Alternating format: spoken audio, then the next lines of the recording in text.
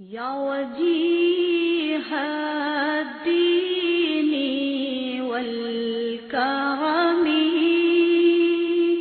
وحليف العلم আল্লাহ রসুল বলছেন ওবালেক ফিলিস্তিন শাক আমরা নাকে পানি দিই যেমন আমরা এই হাতের মধ্যে একটু পানি নিই পানি নেওয়ার পর এভাবে নাকের মধ্যে দিয়ে অনেক এই হাত দিয়ে নাড়াচাড়া করি আবার অনেকে এভাবে নাকের মধ্যে পানি নিয়ে টান দেয়।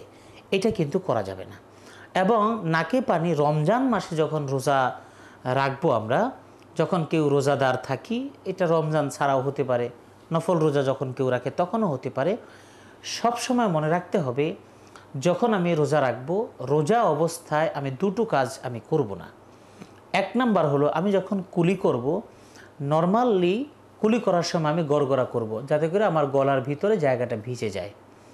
আরেকটা হলো, নাকে আমি পানি দিব যাতে নাকের ভিতরের যে মাংসপেশি নরম, সেই জায়গাটার মধ্যে যেন ভিজে যায়।